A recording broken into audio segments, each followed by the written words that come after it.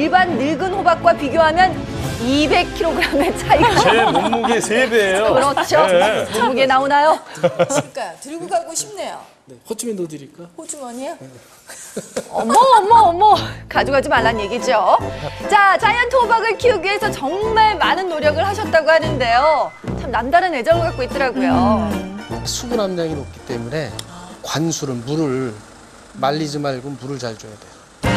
근데 작년에는요 300kg짜리 호박을 또 재배를 하셨었대요. 아, 이분이 저 자이언트 호박 전문이시네. 그렇죠, 예. 그렇죠.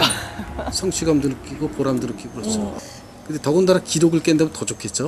그렇습니다. 기록은 깨기 위해 있는 것이라는 분들을 위해 매년 열린다는 호박 챔피언 대회.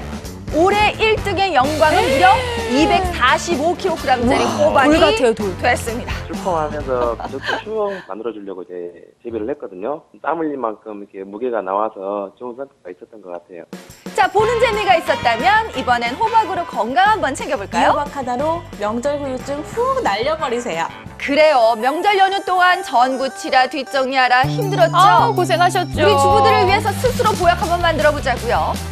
일단 늙은 호박을 적당히 살- 잘라서 삶은 뒤 대추와 밤, 꿀을 넣어서 끓여주면 음. 원기 회복에 으뜸인 호박꿀 영양탕이 완성됩니다. 철분 등의 물질은 혈액을 건강하게 하여서 체력, 근력 등의 기력을 향상시켜 줄 수 있습니다. 당신 다리 아프지? 잠깐만 기다려.